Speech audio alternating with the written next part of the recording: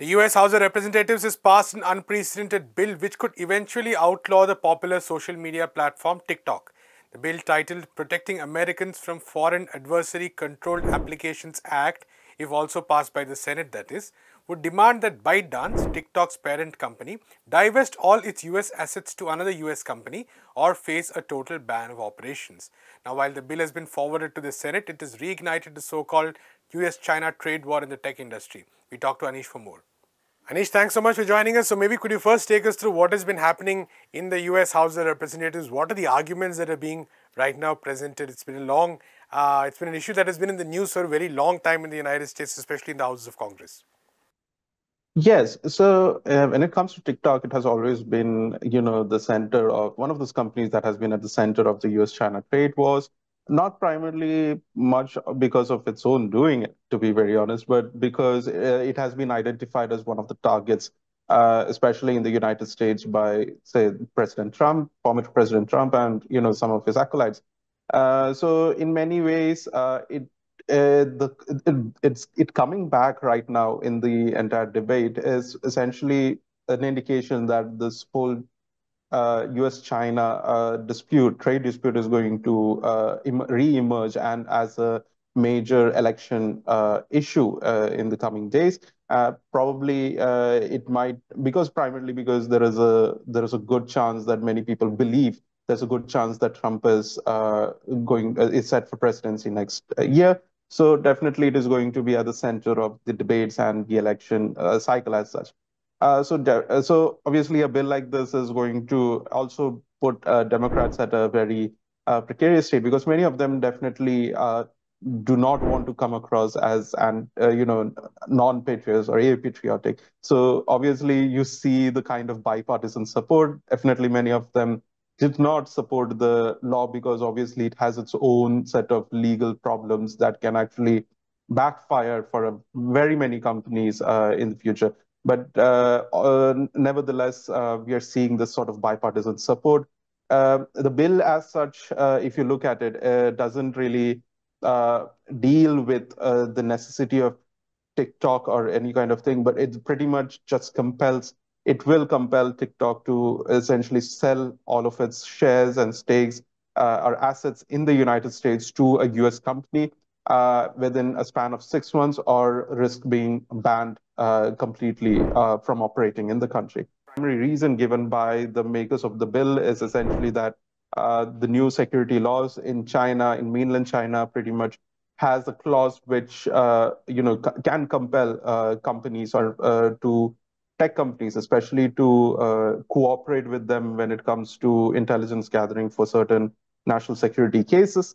Uh, but the thing is, like, it is not out of the ordinary for a country to have a legislation of that sort. Whether or not we think uh, how uh, problematic it might be, it definitely is not something new. The United States itself has its own uh, set of laws that actually compel uh, tech companies, their own tech companies, to you know divulge information and intelligence to the United States, and that has been a debate set aside. But to use that as an excuse to essentially put uh, the owners on a foreign company to uh, you know dive to pretty much divest itself from the United States, uh, not simply divest itself, but actually to give it away to a U.S. company uh, of their choosing uh, is something that is unprecedented in many ways, especially considering the fact that the U.S. has always prided itself as being this place of free trade and uh, you know of or competitive trade and business so this is definitely uh, brings back to the spotlight some of the hypocrisies, but also some of the debates that we're seeing. But the move itself is quite unprecedented in many ways. And Anish, of course, like you said, uh, this law is not out of any concern of the kind of problems big tech has because clearly there's no action being taken against similar big tech US big tech companies. But what does this what do you think what is first of all what lies ahead for this uh, legislation and also how do you think this sort of affects the larger US China trade war which is the term that is used as trade war but how does it, how do you think it affects that in the coming years uh, the bill, uh, let's begin with that. Its uh, future is quite uncertain because the Senate is a very, you know, it can behave differently. We do not know how each of the senators stand. Uh, a large part of that depends also on how much uh, threat other foreign companies actually view such a bill because obviously something of the sort can set a precedent for other companies as well, even uh, company, uh, companies that hail from uh, you know allied or friendly nations.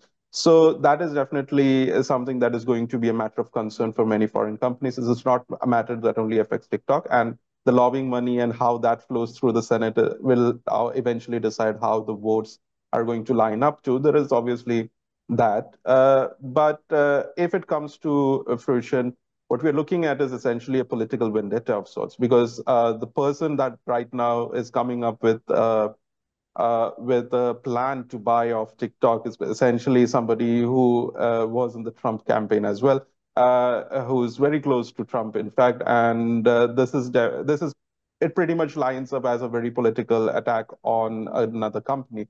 Uh, but on the long term, this will be viewed as an attack in itself because China has obviously raised uh, a statement, uh, opposition to such a bill, saying that it is a sort, sort of banditry that uh, the US is trying to impose on TikTok. And uh, this can actually escalate if something of this sort actually gets passed. And we have heard already from Biden that he will never, he will not veto it. He will, in fact, sign the legislation into law uh, it clearly shows that this is only going to escalate if the Senate eventually passes the bill. Uh, and that definitely will have its own set of impact uh, because we already saw what happened with Huawei, the entire extradition process, which never really came to fruition. Uh, there was the entire thing of uh, espionage, which was actually quite, uh, you know, there was no evidence that was substantiated in any court of law. So we have seen that kind of process and that can actually affect bring back the whole entire you know trade wars as quote unquote trade wars dispute that can actually create global ripples that uh, is not very good for anybody to be very honest. And we have uh, talked about that before but this pretty much is going back to that era of very uncertain uh, trading disputes that can actually affect global supply chains already at a time when everything is pretty much stressed so that definitely is something that needs to be kept in mind for anybody observing this. But we are not looking at, we have to first wait and see how the Senate is going to act on the bill and how things are going to move forward from there. Right. Anish, thank you so much for that update. India recently signed a free trade agreement with a bloc of four European countries. The Trade and Economic Partnership Agreement has been signed with what is called the European Free Trade Association. Now, this comprises Iceland, Liechtenstein, Norway, and Switzerland, and it aims to bring in $100 billion in foreign investment to India in the next 15 years, in addition to creating 1 million jobs. However, activists have expressed concerns over some of the provisions in the deal, especially in the health sector. We go to Jyotsna for more. Jyotsna, thank you so much for joining us. So, free trade, free trade agreements often are seen as something a bit uh, esoteric, uh, so to speak. It's a bit difficult to sort of go through the nuances. So, maybe could you first take us through what this agreement about is about in the first place before we go into some of the ma uh, matters of concern? Uh, so, uh, India has been discussing many free trade agreements with the different countries uh, or trade blocs. Uh, so it, this is a particular trade bloc of four countries of Europe, which is Iceland, Liechtenstein, Norway, and Switzerland. Uh, and it is about it's a trade agreement so it has a gamut of things regarding agricultural products pharmaceutical products and certain general guidelines about trade between india and this trade bloc of four countries so that had been uh, uh, in discussion for many years and um, as happened uh, during covid a lot of uh, free trade agreements, their negotiations were stalled. Um, and uh, but they have made a comeback again in the past couple of years, uh, and um, especially last one year. So uh, this is one of the first trade agreements, free trade agreements that India has concluded uh, with a country or uh, a trade bloc, and this is was signed on 10th March this month. Um, so yeah, so that is where we are. Right. So, uh, could you maybe tell us what are the reasons for concern that activists are like you pointing out? Um, I mean, uh, uh, it is well known. Uh, firstly, the entire politics of free trade agreements is to really bypass uh, the uh, the negotiations and the agreements that you arrive at at World Trade Organization, because that is the body which uh, actually where all the countries came together to discuss how the international trade should be conducted. Um, well, their provisions are really problematic. But when uh, we go for free trade agreements, then developing countries lose even further ground, uh, and uh, rather than gaining any. Um, so, so it has happened again in this case, and I will speak from point of view of uh, access to medicines and the concerns that we have, because India has given in majorly uh, uh, in terms of intellectual property uh, rights. It is it has given so much rights to, uh, uh, to, to the big pharmaceutical companies. It is going to help them and actually work against the generic industry of India, which actually means that uh, the pr- prices of medicines in the long run are going to increase if the provisions that are, exist in the free trade agreement start to be applied to India. So, uh, on that front, it is a major loss uh, for India as we see it. Right. Uh, Jyotsna, uh, to maybe explain this a bit more, could you talk about how these intellectual property barriers, you know, as in how do they sort of work and, you know, how in, in practice, how does it really affect, say, a customer, for instance, in India? Right. So uh, the point is uh, intellectual property, when a company claims uh, uh intellectual property over a product, the idea is that there has to be a balance between public health and innovation. So that's how it came about. But as we can understand, the big companies pushed for as much monopoly as possible over their product. And then there are certain provisions which help them. So we know very well about patents uh, uh, and uh, where uh, a company has monopoly and nobody else can uh, produce that product on which the company has the patent till the patent exists only after it expires now there we have uh, uh, lost a lot. Uh, firstly um, the pre-grant opposition this is something which is very well built in indian law where uh, anybody uh, a common citizen of india or any other country also anywhere in the world a common person uh, uh, or civil society or activists or generic uh, industry manufacturers they can go to the court or to the government uh, before the grant of the patent to say that this is a bogus patent hear us out why you should not grant it.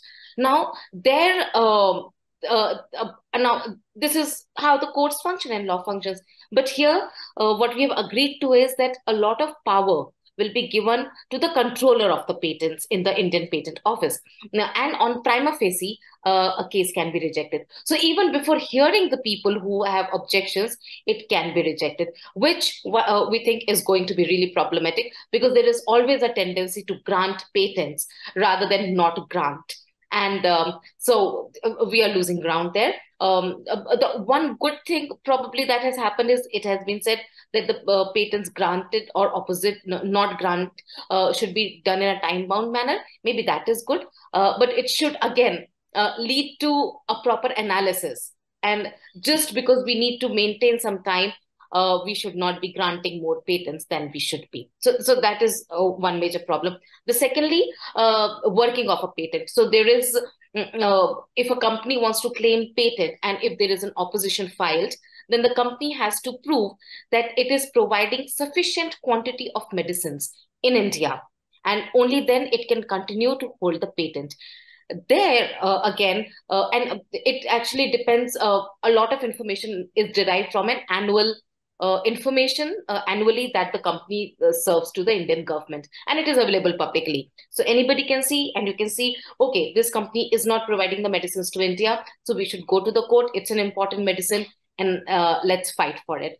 Um, now, uh, uh, after this agreement, it is saying that you, the companies, have to provide that information, if at all, once in three years. Right. Now, so for the longest of period, people will not be able to find a lot of data which helps in uh, the filing oppositions. Uh, thirdly, and there I would like to say um, somewhere Indian government, maybe it is not correct to say lied, but misled uh, media and the civil society and activists majorly uh, uh, last month because uh, the, there is something called data exclusivity, which means that the data that the company provides will be saved. Now, according to Indian law, uh, there are many ways in which th that data can be accessed so that as soon as the patent expires, uh, before that research can be done and the medicines can be produced. Um, so we would uh, we made a lot of noise about it because a leaked text showed that India was going to give into data exclusivity. The Indian government is on record saying that we are not going to give up on data exclusivity.